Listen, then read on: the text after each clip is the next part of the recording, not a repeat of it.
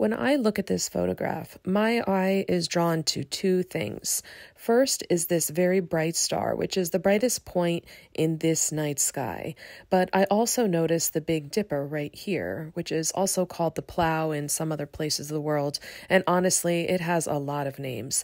But this star pattern is very helpful because it can help direct you to other parts of the sky. And you can use the Big Dipper to arc to the star known as Arcturus. And in this video, we will explore this bright star called Arcturus Arcturus in the constellation Boötes, and we will look at the characteristics of the star, how to find it, and explore some of the reasons why this star is important to both past and present stargazers.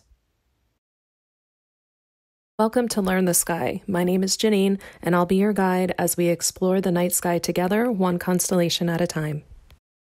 Now let's review over general information about Arcturus. It's the fourth brightest star in the night sky, and it can be seen from everywhere in the northern hemisphere and up to 50 degrees south latitude for the southern hemisphere. The reason it's so bright in the sky is because it's fairly close to us and it's much larger. It's estimated to be 36.7 light years away, and it's a red giant star that's classified as a K 1.53 star, and we'll talk a little bit more about what that means later on in the video. The name Arcturus is a Latinized Greek name that means Arcturus, meaning the guard or guardian of the bear. And it's fairly easy to spot in the sky because it's bright and it's orange in color. And if we were to point out the constellation pattern, uh, let's back up here. This is Arcturus right there, the bright star. And then here is part of the constellation. And this constellation is known as Boötes. And I have a whole video on this constellation, and it's seated right next to Corona Borealis, which I have another video for. So if you want to learn more about these two constellations, go ahead and see that video. And it's represented as a herdsman. So here is kind of what its representation is and how it's placed up in the sky. So now we'll dive into some of the star characteristics of this system. It's classified as a K2 star and it's estimated to be 36.7 light years away, so fairly close to us. And here's a picture of Arcturus. And it's about the same mass as the sun, but it's much bigger. And that's because it's in a different stage in its life. It's kind of like what our sun will become in the future towards the end of its life. So its mass is 1.08 times the mass of the sun. So, so very close, but its size is 25.4 solar radii. So that makes it 170 times more luminous than our own sun. And it's so it's the same same mass but bigger in size, and it's a cooler star than our own at the temperature range of about 4200 Kelvin, and its age is estimated to be 7 billion years old. Our own sun is estimated to be 5 billion years old. So this this star is slightly older, and that makes sense because it is um, in a different stage in its life. And if we were to look at the 25 brightest stars in the night sky, here is where Arcturus is. I think have it pointed out. There it is. So um, I recently did a couple other videos on some of the bright stars, such as Arcturus, or um, that's what this video is, but I've done one on Vega and where else? Antares and Deneb. So be sure to go check out, oh, there it is, check out those videos. And it is when you look at Arcturus, one great thing about it is its color is distinctive. It's an orangish red. Um, it's very bright, and it's has since evolved off the main sequence band. And if we were to compare sizes here, this if this little pixel right here was the sun, this is what Arcturus would be. So it's it is much larger, but there are other stars out there that are much larger, like Antares. This is showing you the, the comparison between Arcturus and Antares. I did recently do a video on that, so go see that video. And if we were to plot exactly where Arcturus is on the HR diagram, which is a color magnitude scale, this is where the sun is and this is where Arcturus is. So you can see this is the main sequence band. And what does that even mean?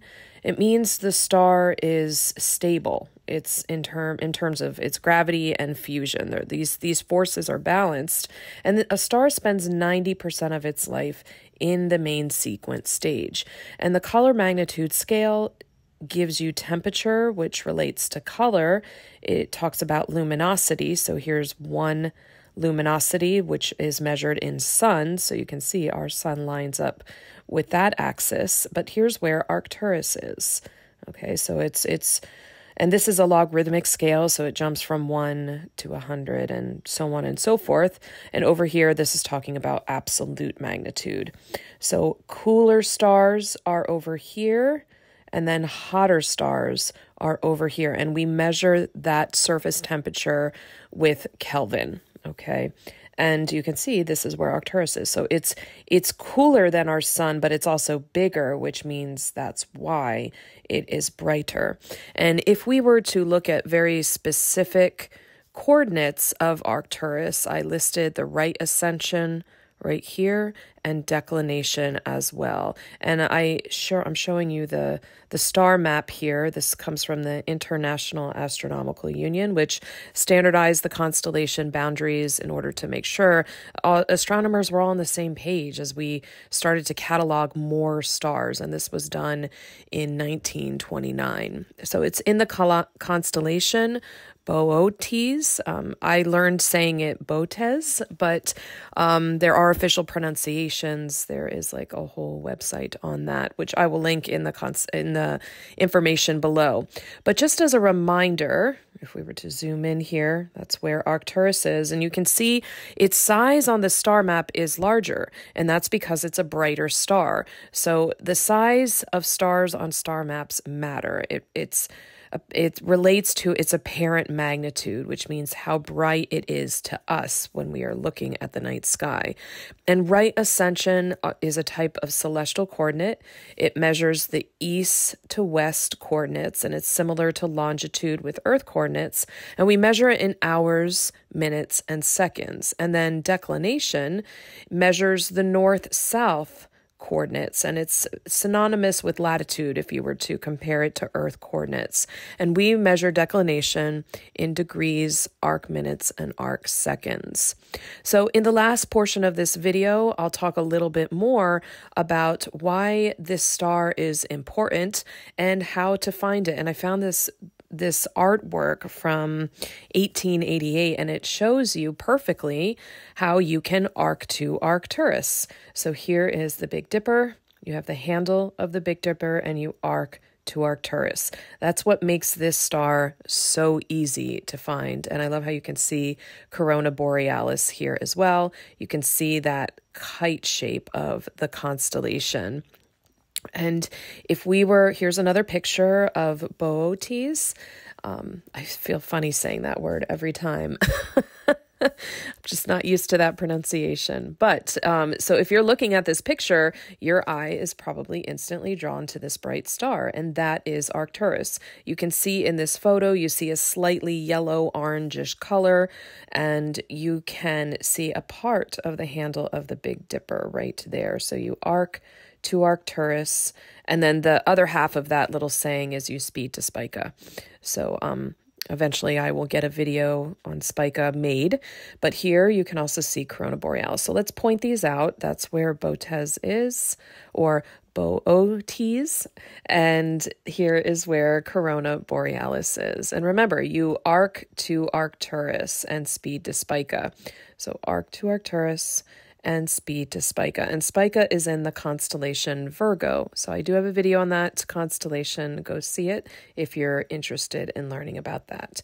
So as you look at this picture, are you able to arc to Arcturus? Find the brightest star in this picture, and then can you see that kite shape right there, and its arm goes up, and it's represented as a herdsman that is guarding the bear. This is um, the Big Dipper is an asterism. It's part of a larger constellation known as Ursa Major. So, Ursa Major is the Great Bear, and the herdsman is protecting it.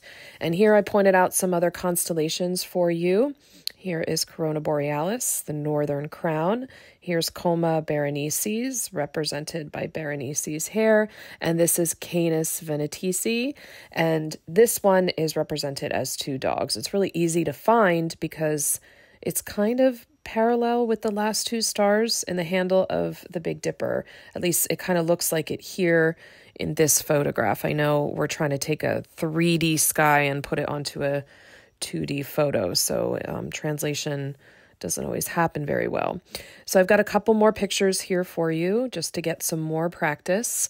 The brightest thing you see is Arcturus. It's the very, very bright star in the night sky. So can you can kind of reverse back to the handle right here, but I often just look I look for the Big Dipper and then I arc to Arcturus and here it shows you speeding to Spica.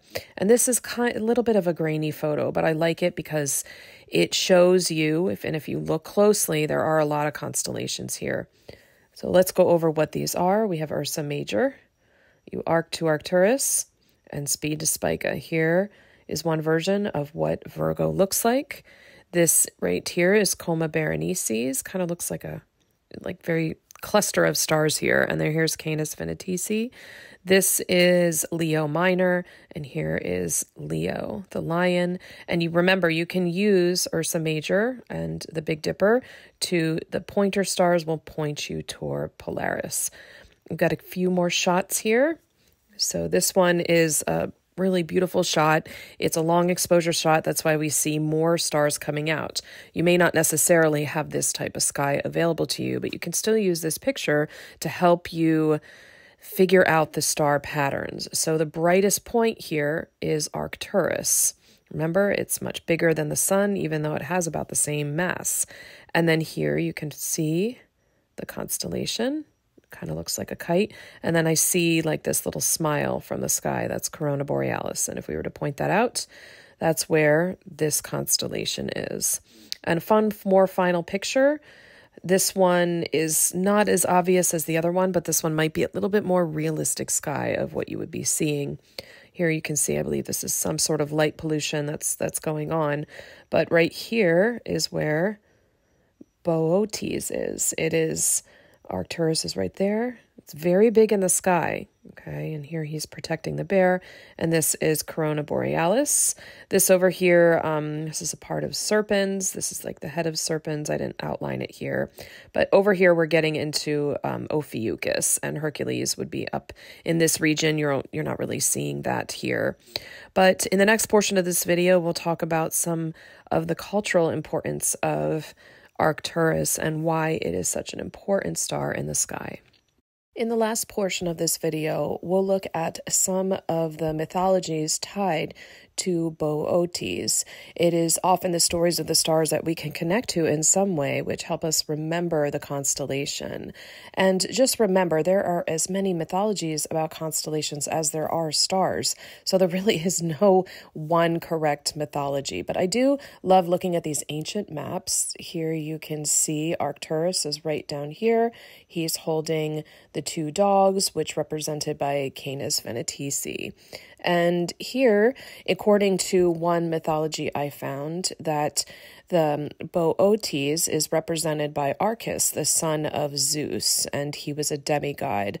Um, here is another depiction you can see that shows you Boötes. Here is Arcturus, kind of represented right near, right near his kneecap, and then you have Coma Berenices and Canis venatici. But um, I'm often familiar or reminded of Hokulea from the time that I lived in Hawaii. And in prehistoric Polynesia, there were navigators that knew Arcturus as Hokulea, as also called the Star of Joy.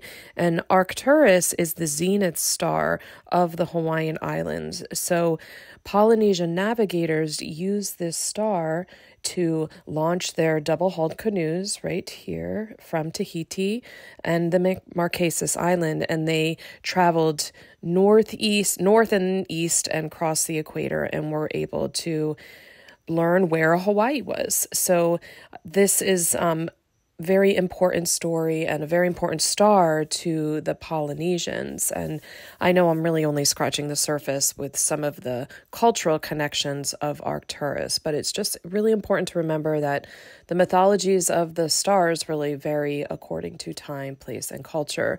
There is no one true mythology for any of the stars or constellations, there's just a variety of them. So I hope this video was helpful for you to learn a little bit more about Arcturus. To me, it's one of the easiest constellations to find in the sky because it is bright, it has an orangish color, and then you can use the Big Dipper to help you arc to Arcturus and speed to Spica.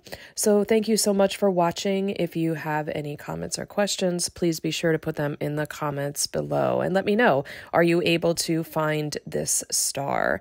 It really, to me, is one of the easiest ones to find, and it can help you find a lot of other constellations in the sky. So, I wish you luck, and as always, keep looking up.